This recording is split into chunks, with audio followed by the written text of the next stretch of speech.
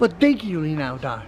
Bij Feyenoord. Wat denken jullie nou, legioen? Wat is er met jullie aan de hand? Nu vallen jullie in één keer weer allemaal over die Jaap Stam heen. Ja, omdat hij die Chinezen niet opstelt. Hé, hey, luister nou eens goed naar wat Jaap Stam vertelt. Goed luisteren naar wat hij aan het vertellen is. En, en, en dan, dan snap je het misschien ook eens een keer. Want wat, wat denk je nou wat daar... als die gozer heel goed zou zijn geweest, hè. Luister nou even goed. Als die Senesi nou een wereldvoetballer is, hè. Dan gaat die Jaap Stam hem niet opstellen. Nee, dat doet Jaap niet. Jaap is knettergek. Tuurlijk niet.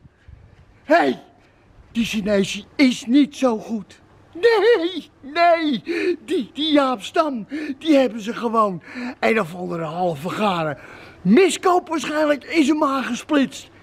Ja, die, die, die, door zijn eigen makelaars, die Verginkel en, en, en die Timmer. Ja, die hebben gezegd, nou, nou hebben we hem hoor. Dit is hem, 7 miljoen. Toppertje. Ja, en die Jaap die krijgt hem op de training. En die Jaap denkt bij zichzelf, pardon? Pardon, wat heb ik nu? Ja.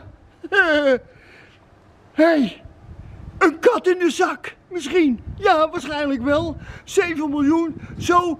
Hup. De sloot in bij Feyenoord. Ja. En jullie vallen allemaal over die stam heen.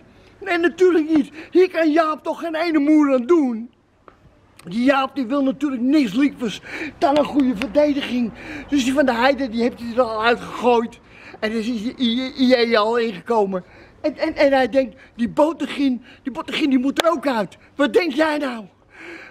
Als hij toch iets beters dan Bottegien heeft, dan zet hij die er toch gelijk in.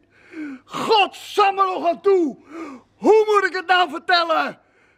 Ophouden met die ongein jullie.